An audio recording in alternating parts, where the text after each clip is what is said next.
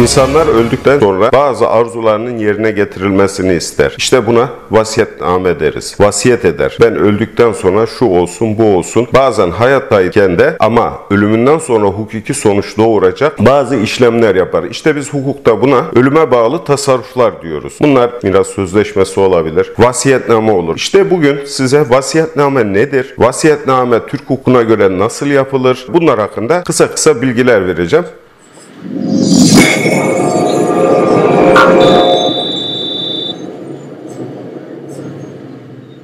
Vasiyetname bir kişinin öldükten sonra bazı arzuların yerine getirilmesini istemesidir. Bununla ilgili bir belge hazırlamasıdır ve bunu belirli yerlere teslim ederek ölümünden sonra bu arzularının yerine getirilmesini açıkladığı bir belge ortaya koyar. İşte biz bunlara vasiyetname diyoruz. Vasiyetnameyi ayırtma gücüne sahip 15 yaşını geçmiş kısıtlı olmayan yani akıl sağlığı yerinde olan kişiler ve fiil ehliyeti olan kişiler istedikleri gibi ölümlerinden sonra yerine getirilmesi arzusuyla vasiyetname düzenleyebilirler. Burada aklı başında olanlar yani ayırtma gücüne eğer vasiyetname düzenlenirken böyle bir şüphe oluşursa vasiyetnameyi yapan veya daha sonradan iddia edilirse adli tıptan vasiyetnamenin yapıldığı tarih itibariyle rapor alınabilir. Alınmalıdır da bununla akıl sağlığının yerinde olduğu tespit edilir. Bir de sınırlı ehliyetsiz yani bazı haklarını kullanamayan ancak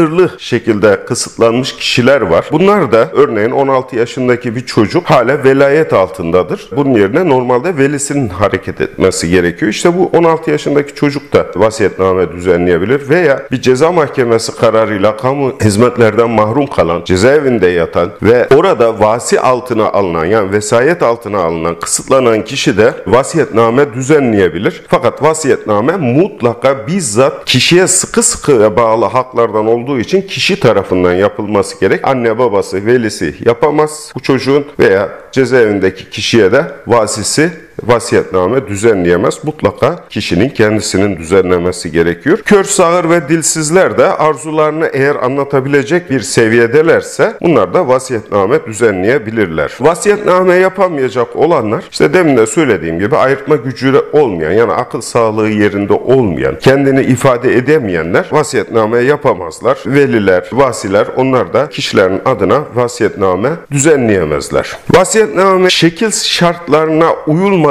yapılırsa hemen geçersiz mi olur? Hayır. Bizim Yargıtay uygulamasında da hukukumuzda da ölenin arzusunu gerçekleştirmeye saygı sebebiyle hemen geçersiz sayılmaz bunlar. Ancak bir itiraz bir mahkeme kararıyla iptal kararı verinceye kadar geçerli sayılır. Vasiyetname yaparken serbest iradeyle yapması gerek kişinin bütün sözleşmelerde olduğu gibi. Gerçi bu tek taraflı bir işlemdir. İşte korkutma, hile, aldatma veya zorlama ile iradenin sakatlanmamış olması gerekiyor. Genelde uygulamada karşılaşılıyor böyle şeylere. Zorla vasiyetname yaptırılabiliyor. İşte bu vasiyetnameler geçersizdir ama demin de söylediğim gibi hemen geçersiz sayılmıyor. Mesela korkutma veya tehlike, tehdit ortadan kalktığında bir ay içerisinde vasiyet yapan kişi bundan dönmezse geçerli olur. Veya bir yıl içerisinde sakatlanan iradeyle yapılan vasiyetnameye karşı kişi dava açmazsa yani vasiyet bırakan veya kendisi vazgeçmezse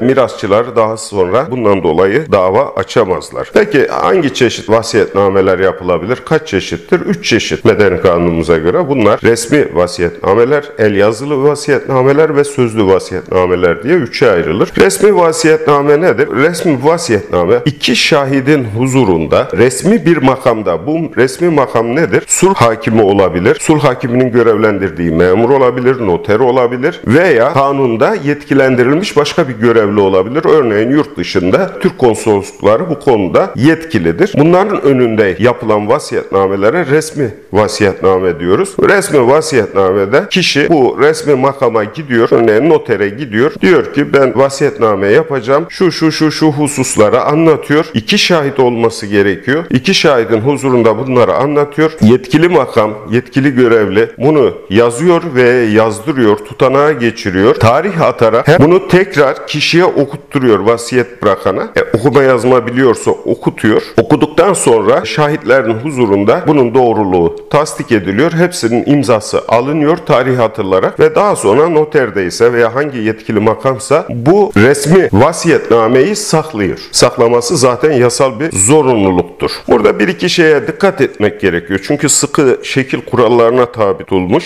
Tanıklık yapacak kişiler çok önemli. Fiil ehliyetine sahip olmayanlar tanıklık yapamazlar. İki kişiden biri fiil ehliyetine sahip değilse o vasiyetname geçersiz olur. Bunun kontrolünü zaten yetkili makam yapacak. Ceza mahkemesi kararıyla işte demin de söylediğim gibi kamu hizmetinden mahrum bırakılmış bir kişi cezaevinde olmasa bile bunlar da şahit olamazlar. Vasiyetname yapan yani vasiyeti yapan kişinin eşi alt ve üst soyu yani çocukları veya anne babası da şahitlik yapamazlar. Bu işleme katılan, yapan yetkili memur veya sul hakimi, noter bunların işte çocukları, anne babaları, eşleri, kardeşleri ve üst ve alt soy kan hısımlarının lehine vasiyetnameyle herhangi bir kazanım yaptırılamaz. Bu da önemli bir konu.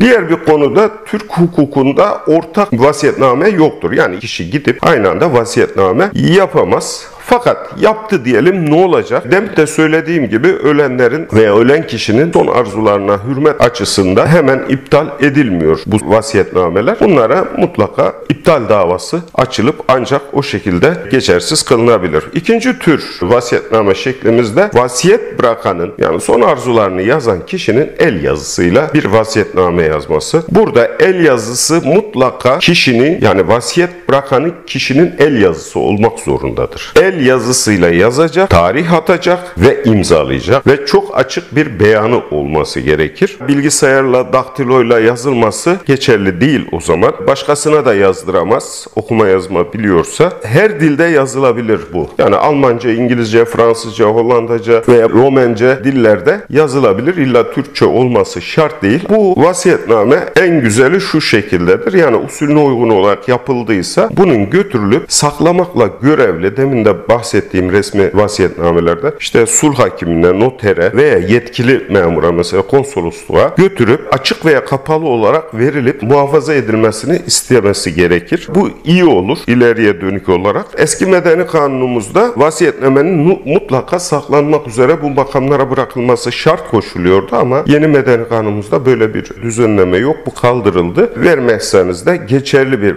vasiyetnamedir. Vasiyetname açılırken onu ayrı bir video konusu olacak. Orada usulüne uygunsa bu vasiyetname geçerli olacaktır. Herhangi bir yere verilmese bile. Diğer bir vasiyetname türümüz de sözlü vasiyetnameler. Çok istisnai durumlarda hazırlanan bir vasiyetname türümüz. Kanunda şartları belirtilmiş. Siz sadece yanınızda bulunanlara ben şurayı şuna verdim, bunu yaptım, şu öldükten sonra bu olsun demekle bir vasiyetname geçerli olmuyor sözlü vasiyetname. Sadece el yazısıyla veya resmi vasiyetname yapılamıyor bir anda olağanüstü bir durumda örneğin savaş halinde, hastalık halinde çok büyük bir tehlike olması, yolların kesilmesi, irtibatın kesilmesi, haberleşmenin kesilmesinin olduğu bir durumda yanındaki bulunan iki şahide aynı anda arzularını ölümünden sonra yapılmasını istediği arzularını beyan edecek şahıs iki şahidin huzurunda. O zaman bu şahitlerde en az biri hemen bu beyanları ilk fırsatta yazılı bir tutanağa geçirmesi gerekiyor. Tutanağa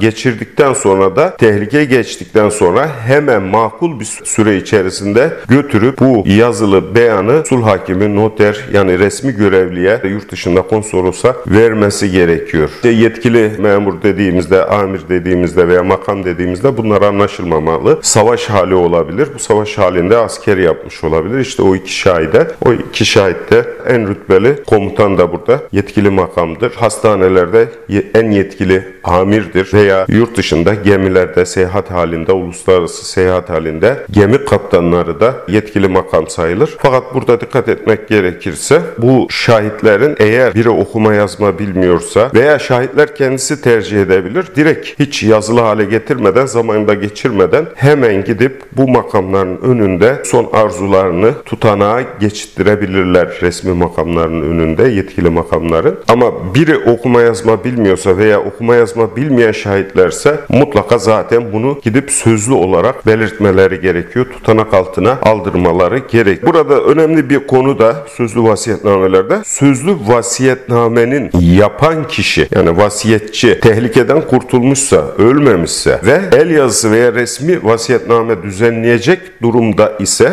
o hale geçmişse ve aradan da bir ay geçmişse artık sözlü vasiyetname otomatikmen geçersiz sayılır. Bunun için iptal davası açmaya bile gerek yoktur.